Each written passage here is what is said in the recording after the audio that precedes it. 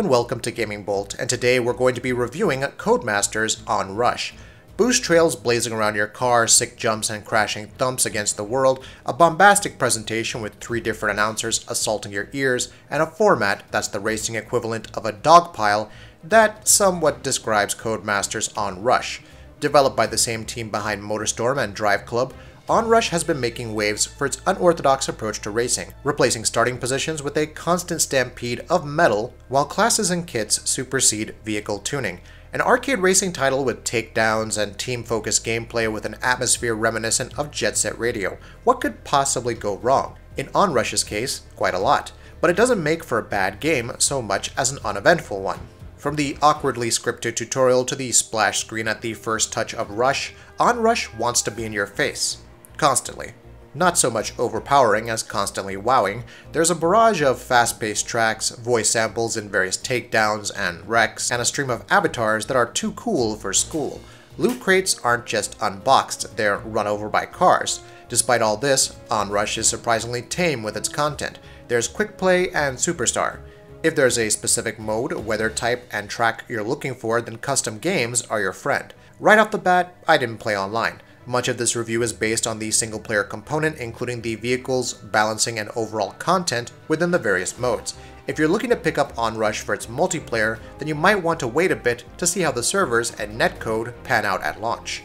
Anyway, Onrush's Superstar mode is the de facto career path, telling the tale of friends coming together and apparently attempting vehicular death while looking as cool as possible in the process. This quickly gives way to the first set of events, each offering a single vehicle class to get the hang of. As you continue, more class-specific challenges and races will unlock. This offers some nice variety to the action, though I really wish Onrush had more outlandish scenarios and unique missions to really push the boundaries. As noted above, Onrush doesn't function like a traditional single-player racing game. There are no positions, there's no benefit to being in first, and if left behind for too long, the game will automatically throw you back into the fray. AI-controlled opponents called fodder litter the races, prompting takedowns and granting boost. Keep boosting and the rush meter is filled, with rush serving as a class's ultimate ability. Each mode played has you and five other racers on one team competing against another in rounds. Overdrive mode demands constant boosting, jumps, takedowns, and stunts to score points. Activating Rush when that point meter is at its peak will effectively double them. Hit the 10k mark and the round ends. Win enough rounds and the match is awarded to your team. Countdown focuses on how long the clock can be extended by hitting time gates. Lockdown generates a moving King of the Hill zone which must be captured. Switch is the most intriguing since it starts one with the smallest vehicle and each elimination gradually builds to the biggest machine. Those who rack up deaths can then prioritize protecting their smaller teammates or hunting their weaker foes. Objective modes are the bread and butter of Onrush's gameplay. Working together is the key to winning, but the game also rewards players who play the objectives, or take out fodder and enemy vehicles.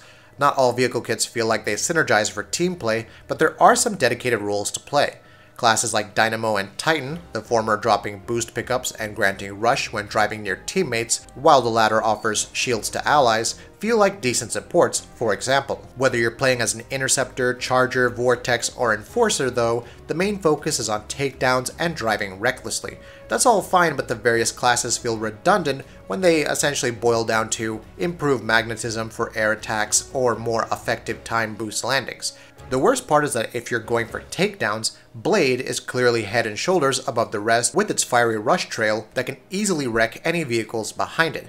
Heck, blinding foes is a rush ability for Enforcer, and Blade gets that as a passive by simply dying. That is, if his opponents run over his tombstones. As it stands, even if the class isn't blatantly overpowered, it feels annoying to play against. The addition of class switching feels more arbitrary than significant to turning the tides, but it's nice to change out if a specific class isn't suiting your style. While one could imagine teams strategizing together to have the Titans and Enforcers create space while the smaller vehicles play the objectives, that's something I could see highly coordinated teams pulling off. Unless you're playing Lockdown, which is basically get as many cars in the zone as possible, resulting in either chaotic romps or annoying dashes to get back in. Onrush neither has any tools to find teams, an LFG system if you will, nor does it boast a competitive racing mode or ladder, as of now at least, to properly accommodate those teams. Despite this, even when playing solo, the team aspect can wildly vary. Some matches you'll feel like you accomplished very little, while others will see you outperform everyone but still lose. More solo options would have been greatly appreciated due to the hit or miss nature of team play. There can be some pleasure to activating Rush and rampaging through fodder and the opposition. However, Onrush can feel somewhat inconsistent when it comes to normal takedowns. Crashing head-on into certain objects won't wreck you, but if an opponent so much as grazes your vehicle on a landing or that passing rock is nudged, then it's to the scrap heap. Granted, it's not as inconsistent as the beta, perhaps because I play the single player, but it still crops up every now and then. Furthermore, taking damage results in red flashes on screen, further limiting your POV. Between all the boost trails, rush effects, cascading fodder, environmental objects, and weather, Onrush's visual clutter can become nigh unbearable at times. The lack of overall depth of the racing is also troublesome. I don't mind Codemasters removing any vehicle customization options and emphasizing the abilities. However, the lack of any racing techniques like drifting or drafting ensure that real skill lies on coordinating with your team. Did I mention that such a feat can become especially tough to pull off when the action is so fast moving? Now it's not all bad news. Even running at 30 frames per second on the Xbox One, Onrush's performance is very solid, with almost no issues.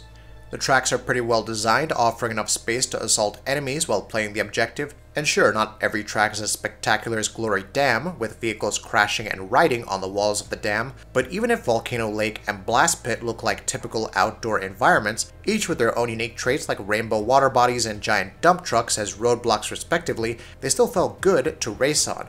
Whether 12 tracks will be enough or not at launch is really down to personal preference. Lack of advanced racing techniques notwithstanding, Onrush does feel pretty good to control. The weight of the Enforcer as it navigates rocky terrain and smashes into vehicles feels just right. Similarly, the unsteady and frail nature of Blade and Outlaw can make tricks and stunts that much more exciting. The soundtrack may not always grab you, but its energy is undeniable and helps set the mood amidst the backdrop of racing factions with their bizarre get-ups and outlandish vehicle paint jobs. A note on the cosmetics. They're fine and not completely bogged down by the loot box system, with frequent level ups ensuring plentiful rewards. Currency is earned from each race, so it's not difficult to eventually purchase the items directly. The addition of a special deal section for certain cosmetics is also a nice touch. Overall though, I felt the cosmetics to be fine. Nothing truly amazing, but not Lawbreakers tier either. As a concept, Onrush wants to meld arcade racing with the dynamic, free-flowing nature of hero-based competitive games. In terms of visuals, presentation, and controls, it mostly succeeds without overachieving in any department. Gameplay-wise, it feels very uneven in places when it's not downright annoying in others. The Superstar mode doesn't offer much by way of variety, nor does it capitalize on the game's zany premise. Competitive players looking for their next big grind will also be let down by the general design and feature set. As an arcade racer, Onrush is a neat distraction, one that lets you pummel opponents and boost to your heart's content. However, there are so many other racers, from Burnout Paradise and Mario Kart to Gran Turismo Sport and Forza Horizon, that can offer so much more, whether a great arcade racer or a serious racing sim is what you're looking for. That'll be it for this video. If you like what we're doing, please go ahead and subscribe, and we'll see you next time.